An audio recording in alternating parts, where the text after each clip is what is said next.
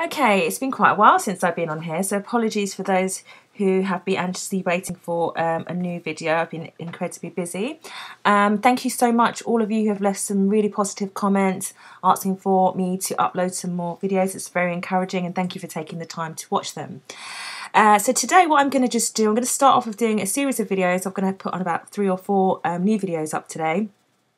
Um, and the first one's going to be quite a simple basic one. We're going to be looking at these metal snaps. Some of you may know them as poppers.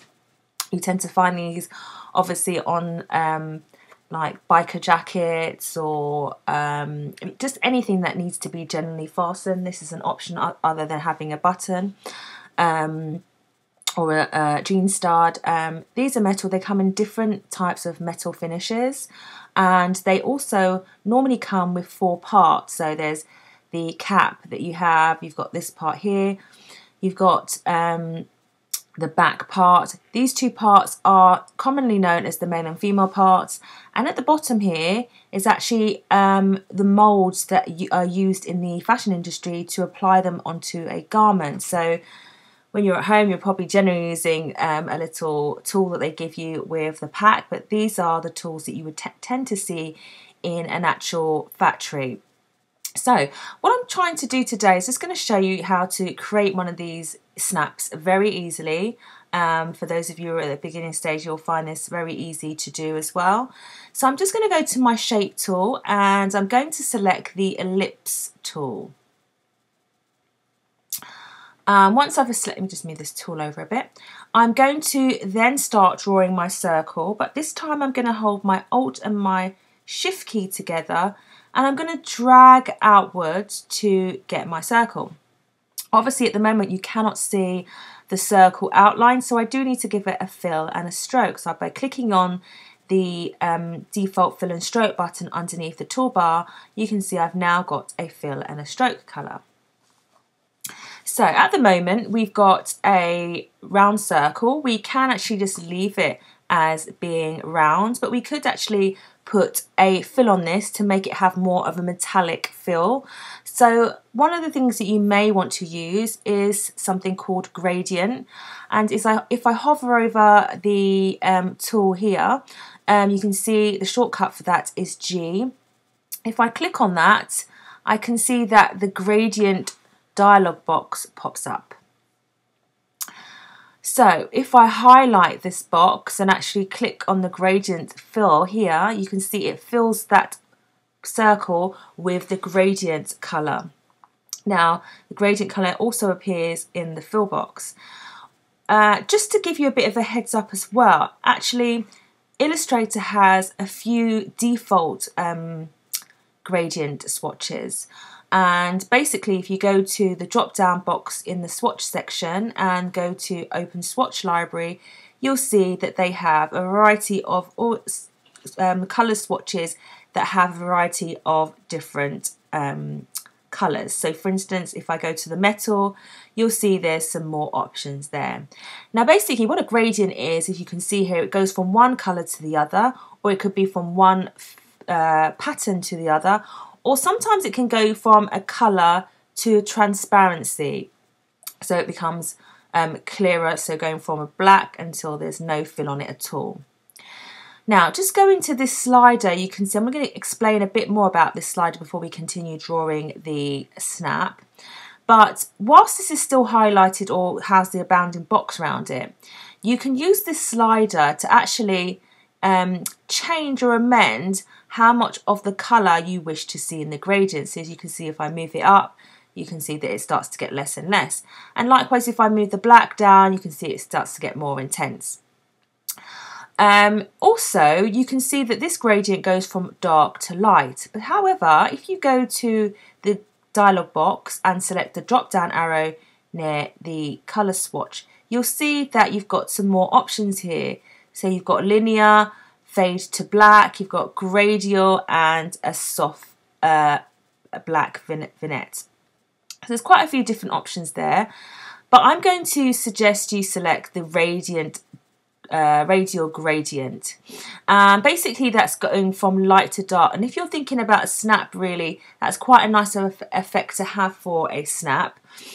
Um, The other thing that I wanted to just inform you about the gradient is if you do not want these colours like the white and the black, it's quite easy to change those. And how you would really do that is if I wanted to input red into this gradient, for instance, I would go to the swatches and I would drag it into the slider here. And as you can see, it starts adding colours. And I can do that to as many colours as I wish. So then you'll say, how do you get rid of that if you don't want that anymore? And literally, if you just click on the colour you don't want and drag away, it gets rid of that colour completely from the gradient fill. Okay, so now we've done that, um, I'm going to continue drawing the snap. So let me move this out of the way so you are able to see exactly what I'm doing. Our tool up here. So now I've drawn the cap part of the snap, I'm going to try and draw some of the other parts of the snap. So if I hold the Alt key and wait for the two-way arrow, the black and the white arrow to come, and if I hover over to the center of the circle and hold down and drag, I'm able to copy that circle that I've just drawn. So let me show you that again. Black arrow tool, making sure that this has been selected, holding the shift key, waiting for the two-way arrow, go to that center dot and drag. So you'll see that I have two of the same thing. Okay, now we want this to look a little bit more of what's going on here. So we're going to draw the other part.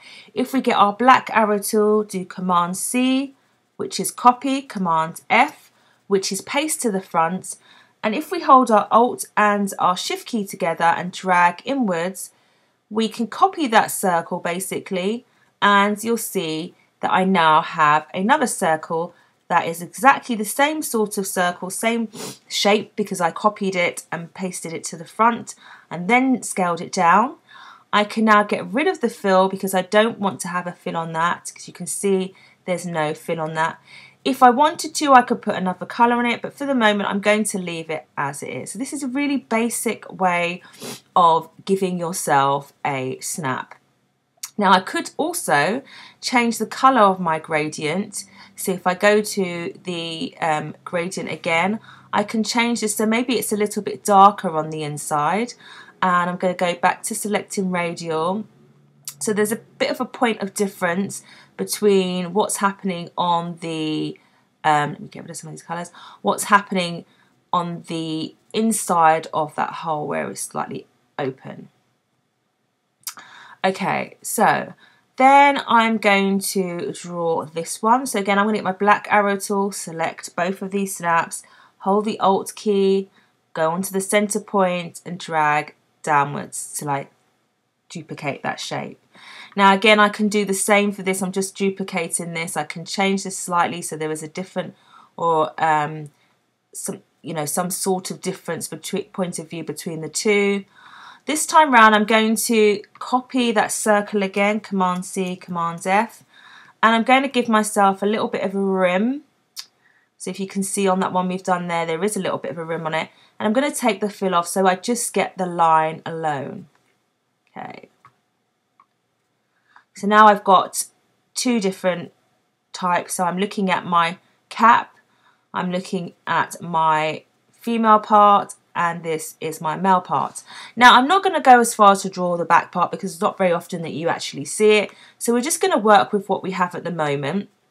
And with this now, what I can actually do is I can actually save these as symbols so that I can open them up in any file and they're not just um, Pacific for this file that I've created today.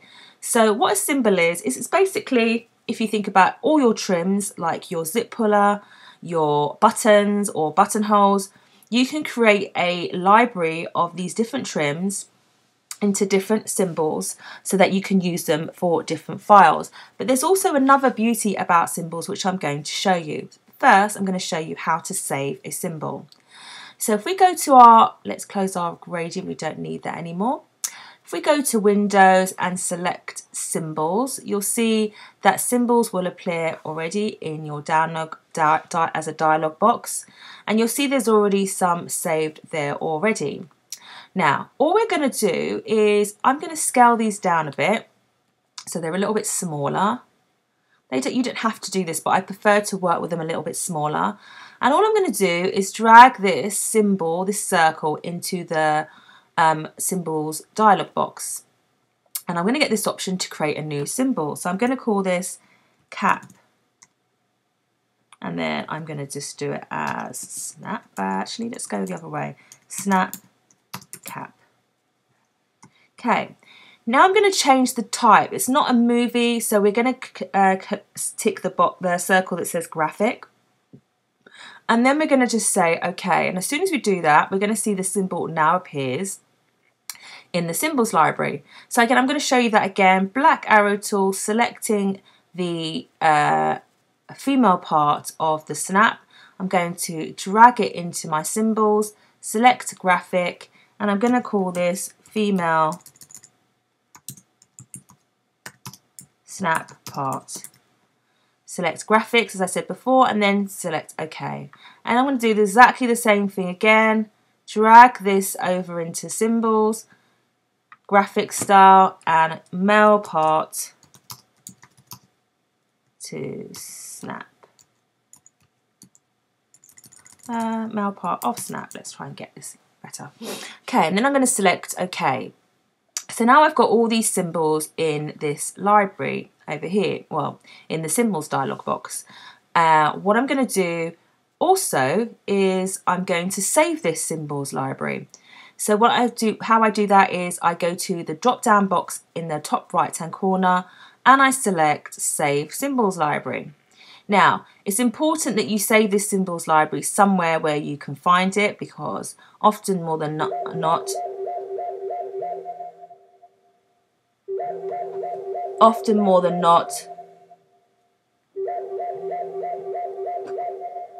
Often more than not um, we sometimes have problems finding where we save things. So I'm going to save it onto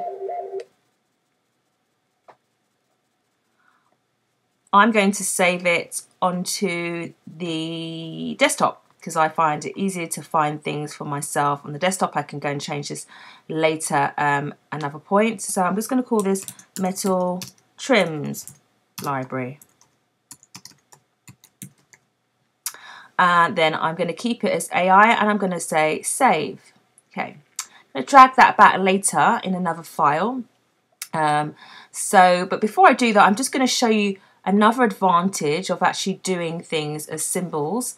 Um, and basically, if I was to have this snap on a garment, I'm just going to use this.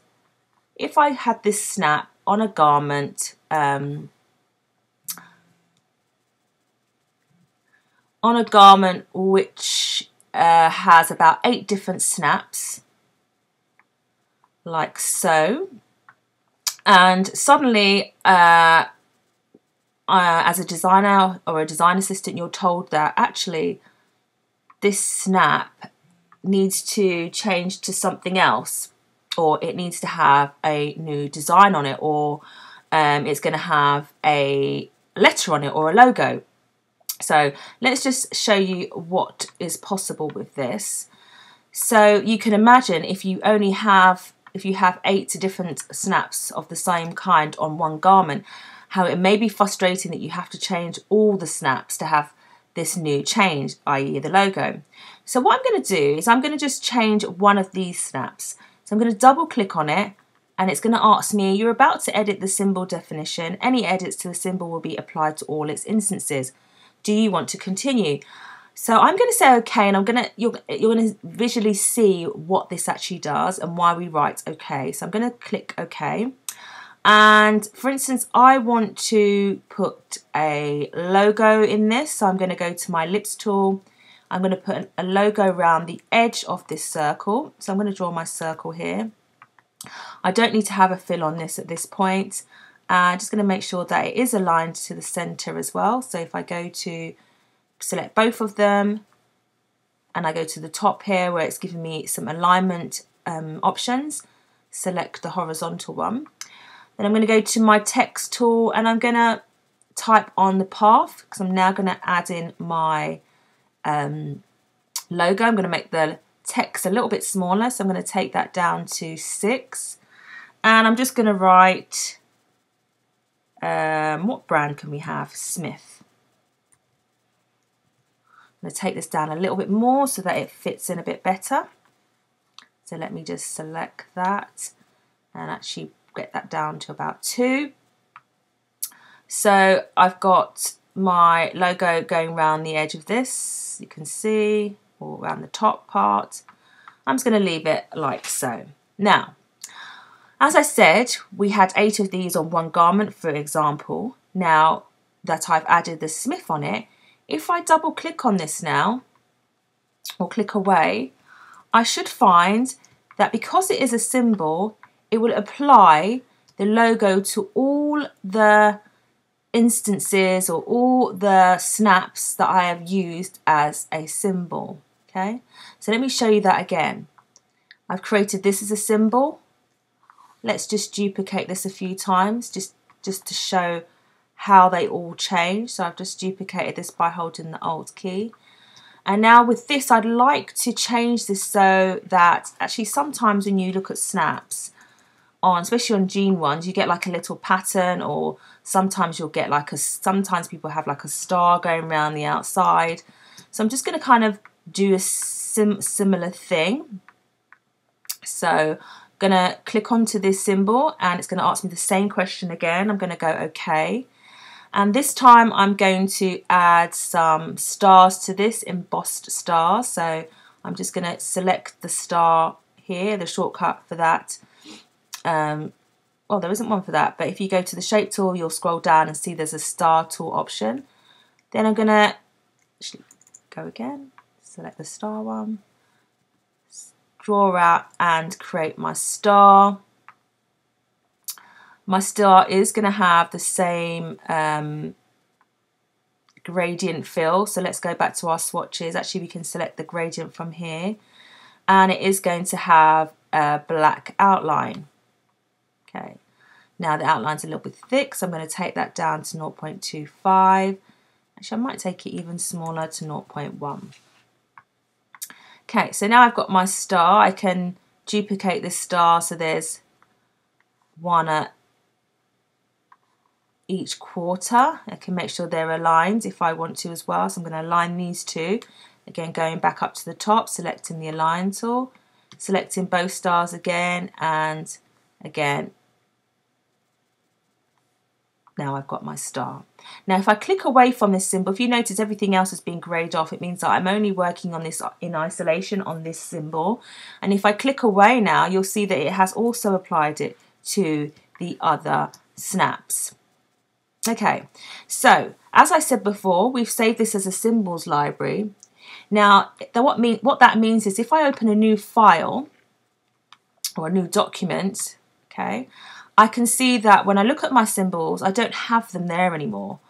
And so if I want to use those same symbols that I or created on in this file, I will have to go back to symbols, go to the drop down arrow and open open symbols library, other library because it's not any of the Illustrator default ones. And then I will go and find my snap library where I saved it on the desktop. And I'm just going to go open. You must open it up in Illustrator. You should do it this way and not go to File or your Windows and try and drag it in. If you do so, it will not work. So it's always best to go to the drop down bar, bar um, arrow at, in the symbols, open symbols library, and then it will say other if it's not already showing here. So that's a wrap. I hope you found that helpful and maybe you can use these snaps for the biker jacket, which I will be doing a more advanced version to that video shortly. Thank you, take care, all the best with it.